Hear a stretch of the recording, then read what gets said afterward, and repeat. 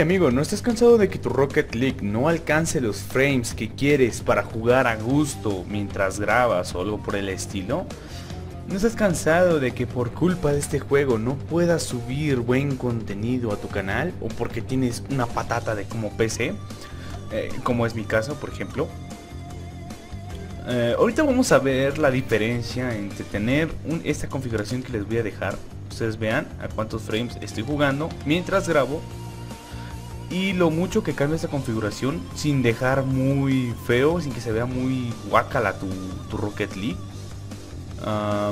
así que bueno, quédate aquí porque vamos a comenzar. Aclaro que volví a reinstalar todo como estaba por defecto. Para que vean que el cambio es monstruoso. Obviamente no va a ser milagros, o tal vez sí. Pero ahí ya va a ser dependiente de cada PC. Así que vamos con el tutorial. Muy bien chicos, vamos a empezar este tutorial y pues bueno, si eres de esos que tienen por patata una PC, bueno, no tanto así, si tiene, eh, aclaro de una vez, eh, este tutorial va para las personas que mínimo tienen unos 3 GB en RAM, y un procesador a 2.0 GHz, ¿ok? La tarjeta gráfica, pues no sabría decirles ahí qué onda, ¿no? De preferencia la que pide el Rocket League o equivalente, ¿ok? Ok, esto lo encontré en internet, en YouTube, en inglés, así que yo se los voy a traer en español. El tutorial se los voy a dejar en la descripción de la persona que lo creó. Y pues bueno, primero que nada se van a descargar esta carpeta, se los voy a dejar comprimida y pues al abrirla se van a encontrar con dos archivos, ¿ok? Estos dos archivos vamos a hacer, van a ser los que vamos a reemplazar en el Rocket League. Ok, eh, para los que tienen comprado el Rocket League, vamos a la carpeta, bueno, a Steam. Ahí se conecta una amiga. Steam, vamos a darle clic derecho a Rocket League, propiedades, archivos locales y ver archivos locales, ok. Una vez hecho esto ya podemos mandar a la goma todo esto. Y pues vamos a ponerlo de este lado, ok. Ok, otra amiga. Eh, vamos a ir a la carpeta Engine y en la carpeta config vamos a hacer un backup del base input. Como ven aquí yo ya lo hice. en este caso vamos a meter el, digo vamos a hacer un respaldo del base system settings del que ustedes tengan.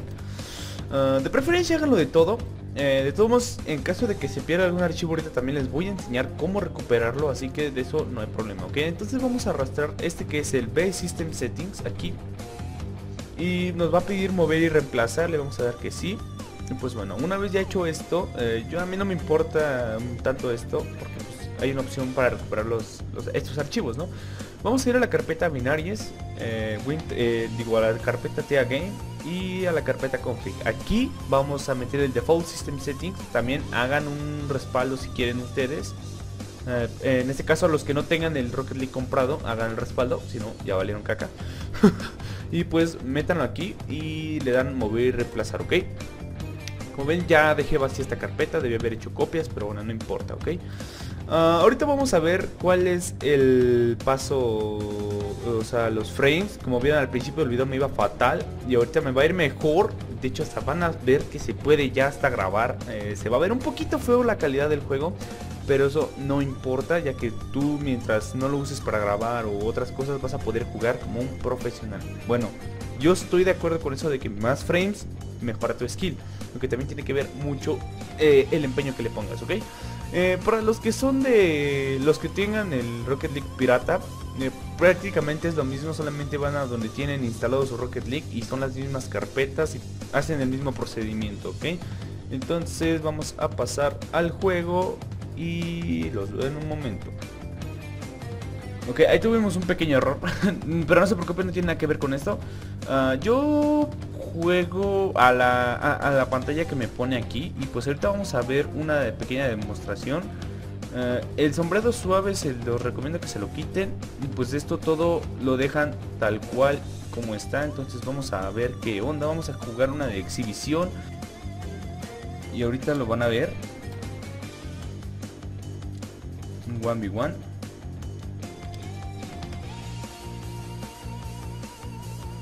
Y aquí estamos, aquí estamos jugando ya. obviamente si tú tienes por patata una PC, eh, te recomiendo que mejor no grabes.